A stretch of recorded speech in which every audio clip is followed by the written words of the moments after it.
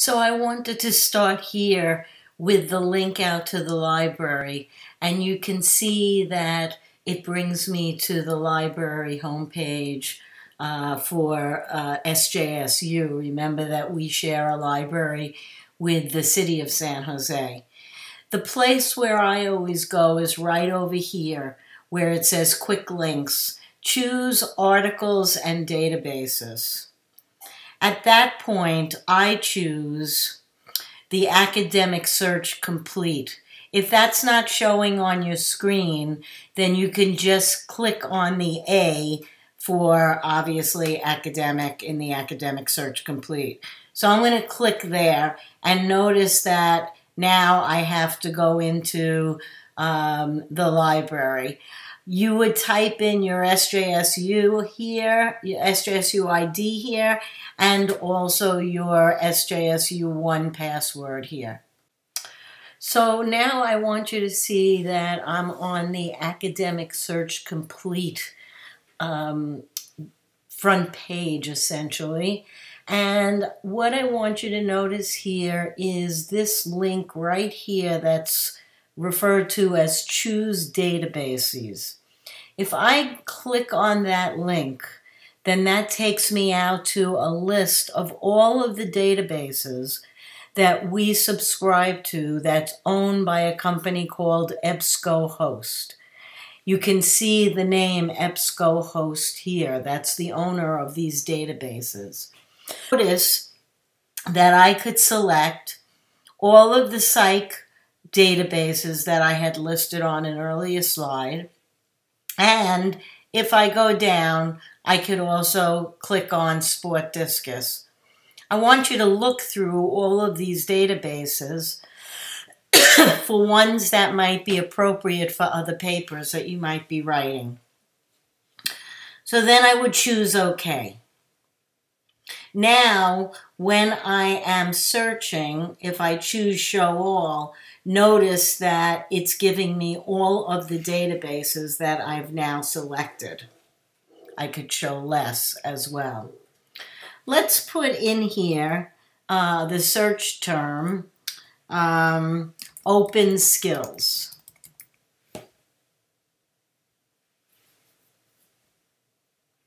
Notice that I get 191 sources that are about open and closed skills. Some aspect of open and closed skills. That's a very broad category. I'd have to look through these 191 or some of them and try to get a better sense for uh, what are the topics that underlie the study of open skills. For example, um, looking at the second to fourth digit ratio and game related statistics in female basketball players, or looking at task switching and how motor skill experience affects that. Notice here exercise interventions that are open and closed skills with older adults. So you can see that any one of those articles could serve as a topic and then I can go through the rest of these and actually come up with a very narrow focus for my uh, short essay or manuscript. Notice over here, uh, I'm going to limit my search to full text because we need to be able to get that. We want the references that that person addresses. And we also want to limit our search to scholarly uh, peer reviewed journals. However, I don't want to put a limit on when you could search to. So let's put in 1950 and see what we come up with now. Search. Notice now I've limited it.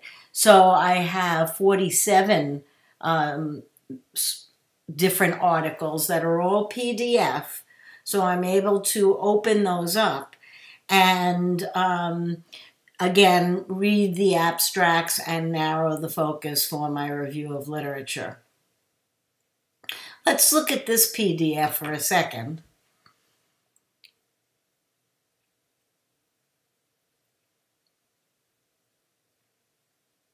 If I were to go to the journal um, and this is published in the Journal of Sport Behavior, I know that by looking at the header on the second page. Notice that I can get the volume number and the number of the journal. Also, it gives me the page numbers. Um, here's the abstract for this particular study. And uh, it looks to me like this journal does not have keywords. They are usually found on the title page, but let's see if they're at the end of the references page. So you could see that many articles could be located according to various topics that you might be searching in the literature.